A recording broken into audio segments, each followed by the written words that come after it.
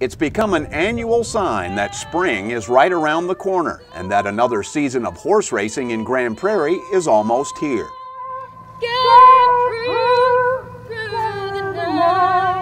For the 17th straight year, Lone Star Park hosted its national anthem auditions.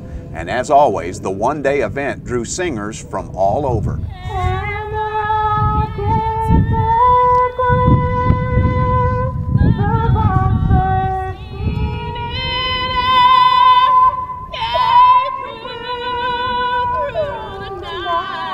More than 100 people tried out this year. Some were in front of the microphone for the first time. Others had been there before.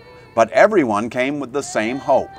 Being chosen to come back during one of the 76 dates of live racing at the park in 2013 to sing the same song in front of a much bigger audience. I just really enjoy singing and uh, uh, as I tried last year and that, and I didn't quite make it, but I wanted to try it again. It's really hard because this is such a powerful and meaningful song. You don't want to mess up, but it's uh, it's still a great feeling to be able to do it. You know, my sister's in the Navy, and my dad was a, a veteran.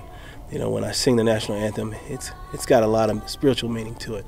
You know, it's not just the average song that you sing. You know, and that's you know, as a singer, that's one of the most things you can do is honor the country by singing the national anthem.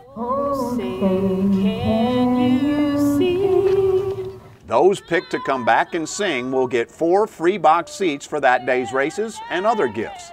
The spring thoroughbred season begins on April 11th. For more information, go to LoneStarPark.com or call 972 263 7223.